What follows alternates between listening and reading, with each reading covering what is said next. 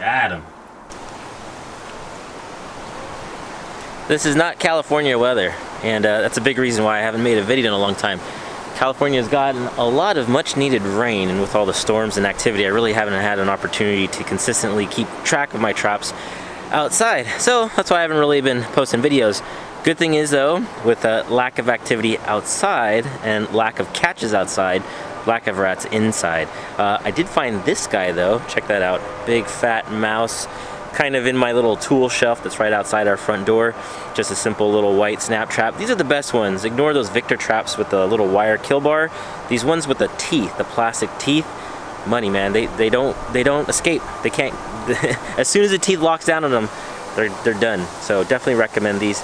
Everything's uh, in the description below. Uh, links if you want to buy these. Definitely recommend it. So yeah, um, you know, I, have had a couple of hits on the traps. Um, you know, I think I'm gonna stop filming here and get the yard ready for the incoming storm. It's supposed to be pretty windy and pretty nasty. And for our area, Northern California, we're supposed to get a ton of rain by the end of the weekend. So hooray for us. Boo for the channel because it means no content for a while. But I do have a catch, so let's take a look.